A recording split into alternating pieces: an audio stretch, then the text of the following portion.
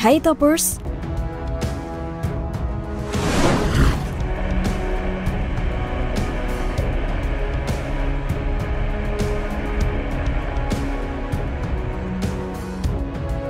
Duka menyelimuti Indonesia setelah KRI Nanggala 402 dinyatakan tenggelam dan awak kapal yang berjumlah 53 orang dinyatakan gugur.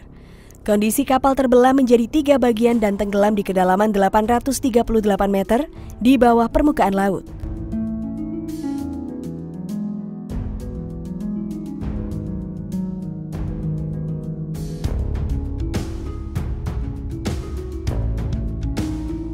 Tenggelamnya KRI Nanggala 402 merupakan insiden fatal terbaru yang terkait dengan kapal selam di seluruh dunia.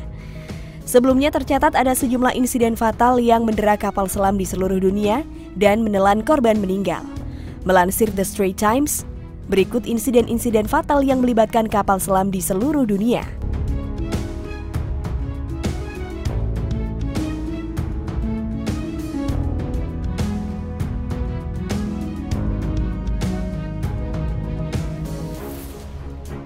Losharik. Pada Juli 2019, terjadi kebakaran di kompartemen baterai kapal selam bertenaga nuklir Losharik alias AS-31 milik Rusia. Kapal selam tersebut diluncurkan ke Samudra Arktik untuk mengamati dasar laut. Kapal tersebut telah melakukan pengukuran bawah air di dasar laut di perairan teritorial Rusia. Insiden tersebut menewaskan 14 awak kapal. Sebanyak lima orang berhasil selamat. Setelah tragedi itu, kapal selam berhasil ditemukan dan diperbaiki.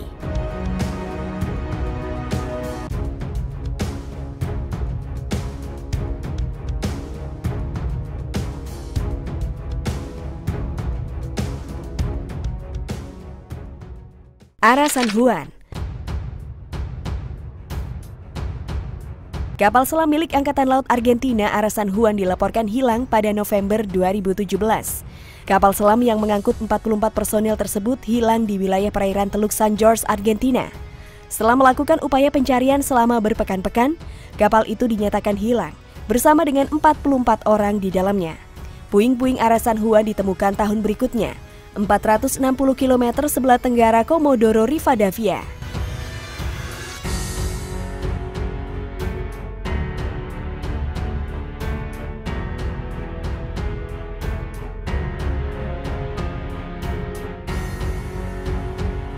AS-28. Pada Agustus 2005, satu unit wahana penyelamat Rusia kapal selam Pris AS-28 dan tujuh awaknya terjebak 190 meter di bawah permukaan laut.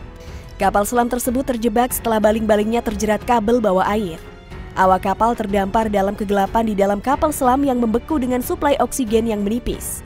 Setelah tiga hari, kapal selam itu berhasil dibebaskan dan kru berhasil diselamatkan ketika wahana penyelamat Inggris memotong kabel yang menjerat baling-baling.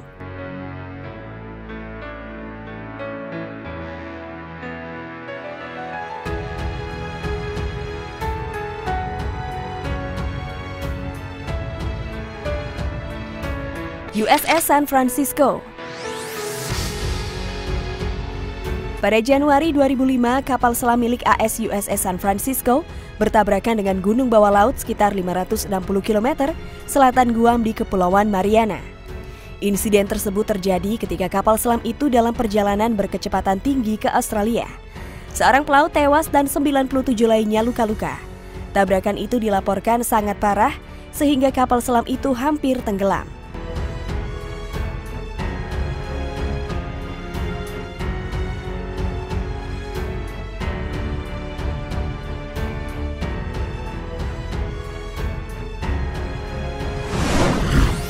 Itulah beberapa insiden kapal selam mengerikan di dunia.